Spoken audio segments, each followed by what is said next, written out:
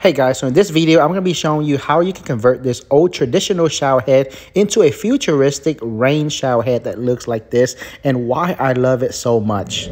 So here is everything we get when we purchase this product. The first thing is the 12 inch rain shower head. I really like the way this look and the finish, the color, love everything about it. This does come in different colors such as stainless steel and other options. I will leave all the links in the description box down below so you can check it out for yourself. The second thing we have is a 10 inch extension arm that will need to be attached to our shower. Most of us will definitely need to use this right here to attach to our existing shower.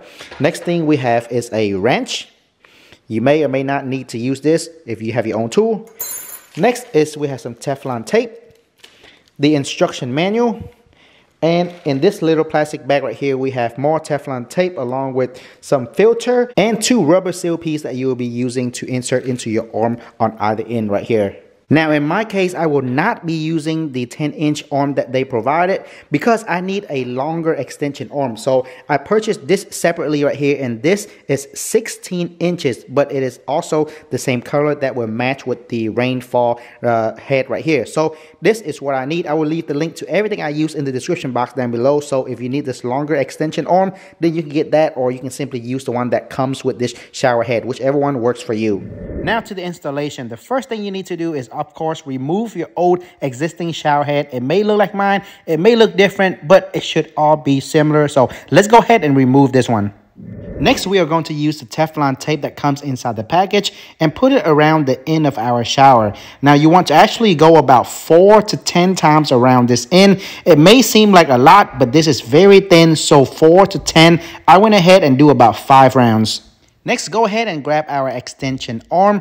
Before we connect this to our shower, we want to make sure we put this little plastic seal piece inside of this little hole right here. So go ahead and make sure you insert this in here, push it down, make sure it's all the way in.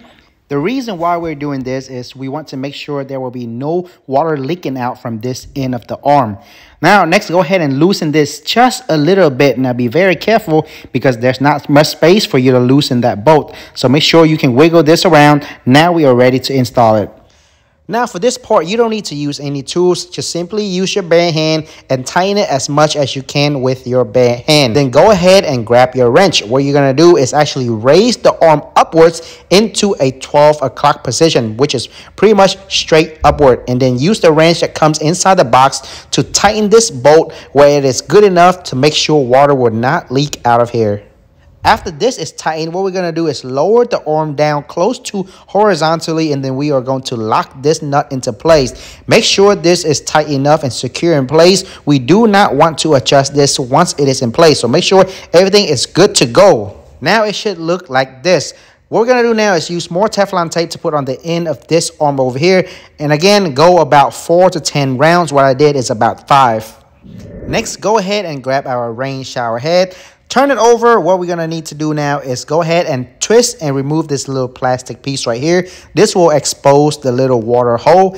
Now in here, make sure you have this little filter that should already be in there and grab another plastic seal and insert it into this hole just like you did on the arm. Make sure it's fitted all the way in there. That way water will not leak out. Now we are ready to attach this onto the arm. Now you want to be very gentle and light right here. Just simply touch it onto the arm and turn very gently.